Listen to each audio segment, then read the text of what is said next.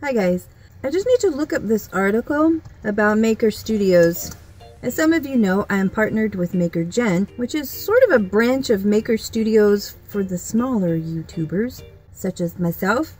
I don't even know where to go. A lot of articles about Maker right now. A lot of you probably know that Maker Studios dumped PewDiePie because he made some anti-Semitic comments. No, no, that's going to get taken out of context, and that's one of the big things about the story. Okay, so PewDiePie made some Hitler jokes, right? And he had made some Nazi jokes. And they were taken out of context because what he was actually talking about was something completely different than the actual Holocaust. It was something completely different. He was making a joke. It was sort of a reference to something else. It was taken out of context. It doesn't matter. It doesn't matter. Disney dumped him. Maker Studios dumped him, right? I guess they did what they had to do. Now I'm reading. Not only was PewDiePie dumped, but most of the creators in the Maker Studios network are to be dumped. Their contracts will not be renewed. Guess who that affects? I'm one of them because I am not one of the top 300 creators in the network. There are probably close to 60,000 creators in the Maker Studios network. They are going to slash that number down to 300. S sorry, stars, don't fall. To 300 of the brightest creators in the Maker Studios network.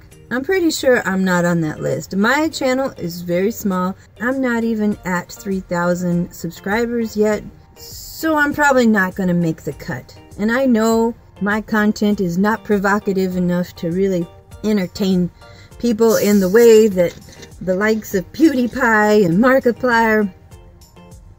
I know. I know. So I'm not going to make the cut. What does this mean?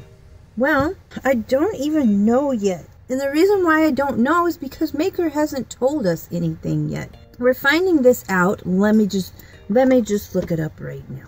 I found this out from Social Blade. I was trying to check my stats. Here's the thing.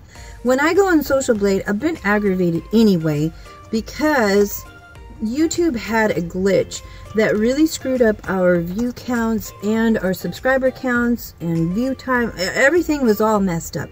It's still messed up. So already I was aggravated. And then I'm scrolling around and I see, wait a minute, you know what? I need to record this for you guys so you can enjoy discovering what I discovered and how I discovered it.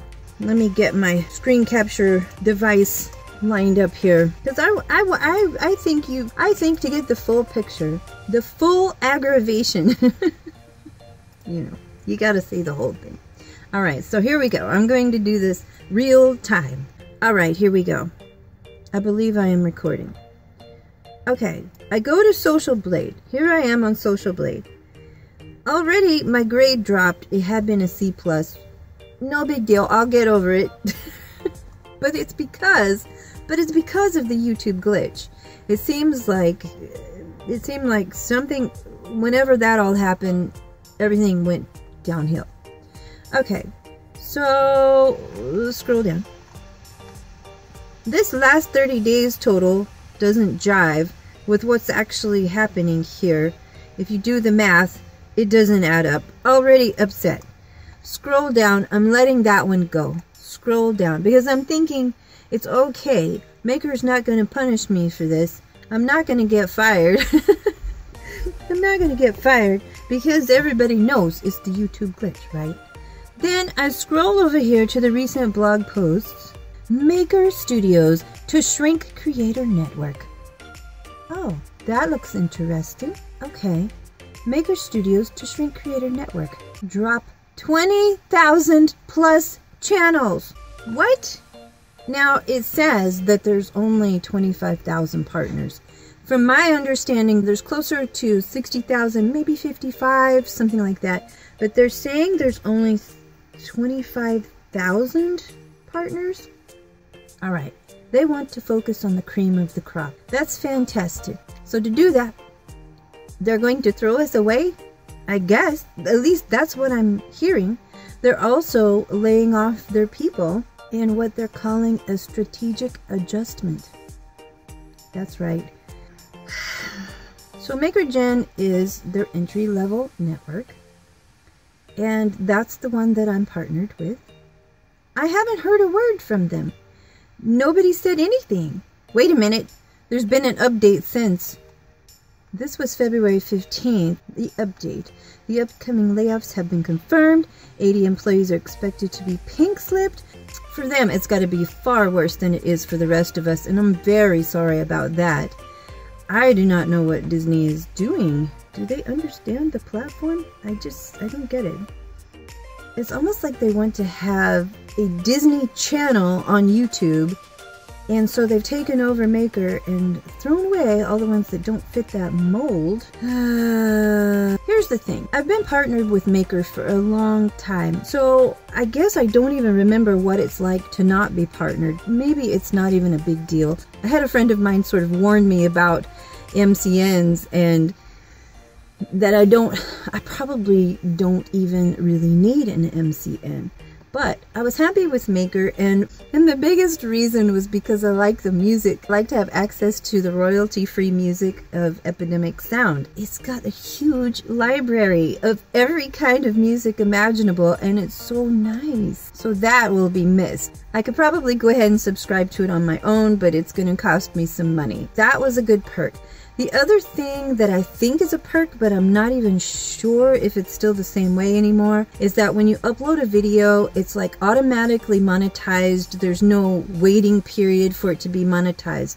In the past, I'd upload a video, monetize it, but it would take a while for them to mm, actually monetize it. So I would get all the views that video was going to get, then it would go monetized, and then you don't make any money off of that. Not a big deal. It's not like a primary source of income. That was one of the perks with Maker was it instantly was monetized. If you had any problems with a copyright issue because of music or anything else, you kind of got a little bit of help with that. And now, since it looks like a lot of us are getting dropped from the network, I have to think, am I going to look for another network or am I just going to go rogue? rogue Am I gonna go rogue? I need to have a drink on this. Because I hear from people they'd rather go rogue. I think networks are good for some of us, and then some of us, it's not really necessary.